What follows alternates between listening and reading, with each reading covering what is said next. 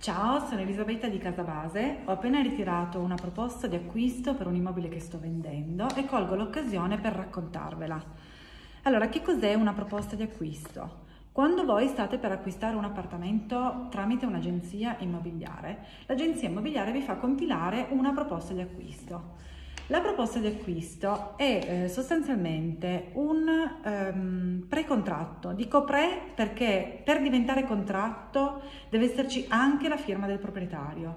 Inizialmente è un pre-contratto perché la compilate soltanto voi e siete voi che iniziate a stabilire quelle che sono un pochettino le vostre regole e le vostre esigenze per comprare quell'appartamento. Intanto vi voglio dire che i moduli e i formulari devono essere regolari e depositati presso le camere di commercio della città di dove è ubicato diciamo, l'appartamento e quindi la sede dell'agenzia. Eh, sono moduli tendenzialmente in duplice o triplice copia e una volta compilato una di queste copie ve la devono dare.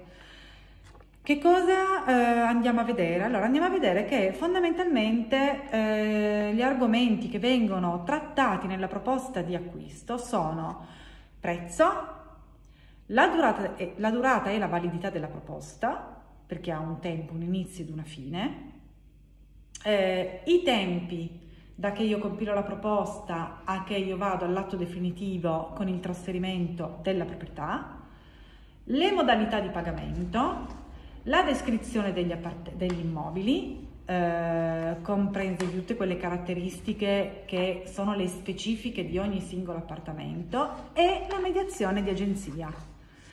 Allora, la prima parte sono i vostri dati personali e i dati dei proprietari, cioè voi andate a indicare quelli che sono vostro nome, cognome, residenza, codice fiscale e andate a scrivere quelli che sono appunto anche i nomi dei proprietari la descrizione degli immobili, quindi l'indirizzo, gli identificativi catastali e la descrizione discorsiva.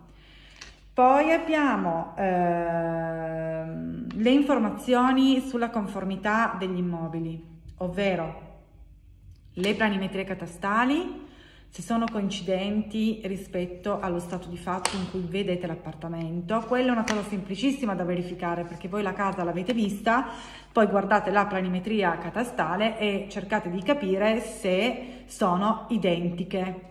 Eh, poi abbiamo eh, la parte riguardante gli impianti, eh, la parte riguardante le normative urbanistiche ed edilizie, per esempio se ho un bagno, se c'è l'antibagno, se è indicato, se non è indicato, se c'è, se non c'è, se abbiamo degli abusi edilizi all'interno del nostro appartamento oppure se non ci sono, se è tutto a norma, la descrizione degli impianti, eh, se ci sono delle ipoteche o delle trascrizioni pregiudizievoli, mm, nulla di spaventoso, semplicemente quando uno va a fare un mutuo la banca iscrive un'ipoteca volontaria sull'immobile, quindi se voi state comprando un appartamento il cui proprietario a sua volta per acquistarlo aveva richiesto un mutuo, lì sopra ci sarà ancora iscritta un'ipoteca che potrà essere cancellata prima o contestualmente all'atto notarile. Nulla di grave, è praticamente la norma.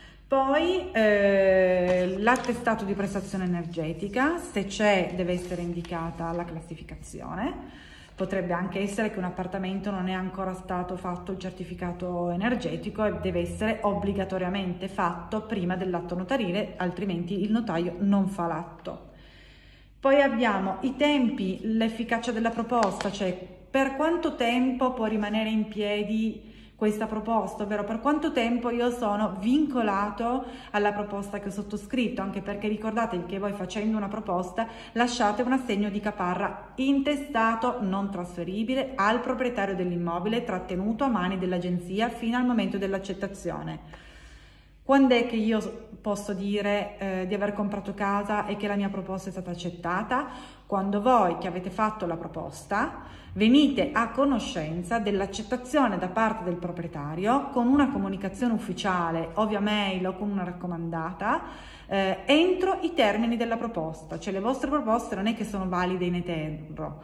Se entro il tempo di proposta voi non avete risposta, voi siete liberi anche se non vi siete ritirati l'assegno di caparra. Poi eh, viene stabilito quando andate a fare l'atto definitivo di compravendita, cioè a partire dal giorno in cui fate la proposta all'ultima data, che è quella in cui pagate tutto l'appartamento e vi viene trasferita la proprietà, viene trasferito il possesso fondamentalmente, eh, quando è questo termine ultimo? Un mese, due mesi, sei mesi, nove mesi. In mezzo tendenzialmente si stabilisce quando fare il compromesso. Il compromesso non è altro che un perfezionamento, diciamo, della proposta di acquisto. Cerco di spiegarlo in breve. La proposta di acquisto, se viene accettata in tutte le sue parti dal proprietario, senza fare nessuna modifica né sui tempi né sui modi né eh, sulle cifre, con tutte le firme sostanzialmente diventa un contratto eh, al pari livello di un compromesso. Normalmente si fa il compromesso perché di solito la proposta di acquisto, una volta poi portata al proprietario, può avere delle modifiche nei tempi, eh, nelle modalità di pagamento e nella cifra. Allora il compromesso serve per avere un accordo tra le parti eh, perfezionato rispetto alla proposta di acquisto dove gli attori del compromesso siete voi che promettete di acquistare e il proprietario che promette di vendervi. È una promessa fondamentalmente. Il compromesso poi verrà o registrato o trascritto. Sono eh, due eh, strade diverse e molto molto differenti che andremo ad affrontare magari in un altro momento. Continuiamo sulla nostra proposta.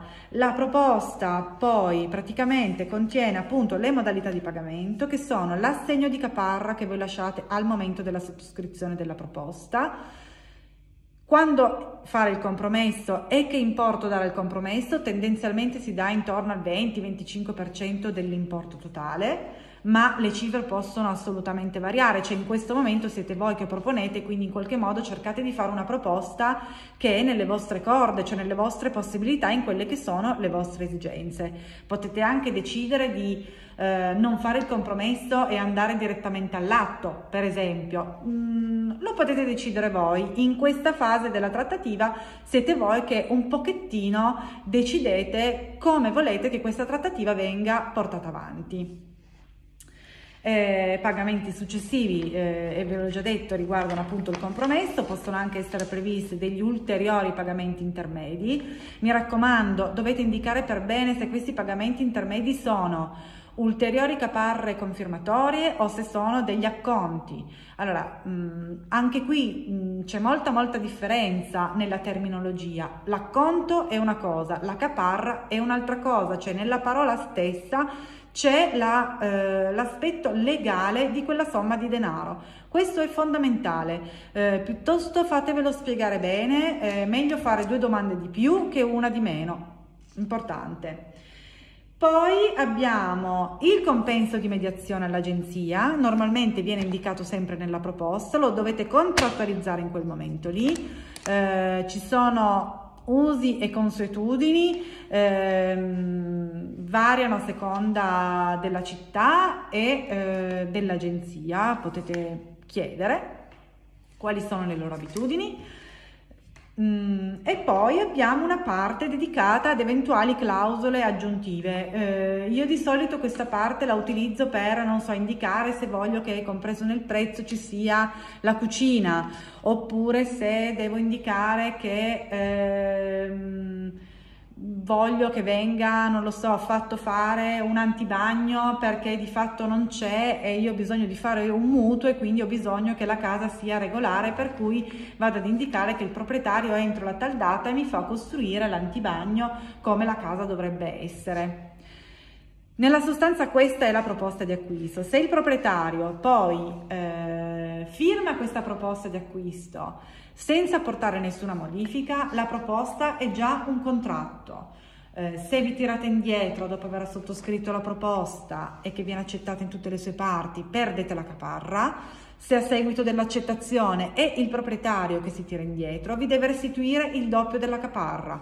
Vuol dire vi deve restituire la vostra somma di denaro più darvi un'altrettanta uguale somma di denaro Spero di essere stata abbastanza chiara, largamente complicato, lo tratteremo anche in altri video, ma questa intanto è una prima parte. Ciao e buona giornata!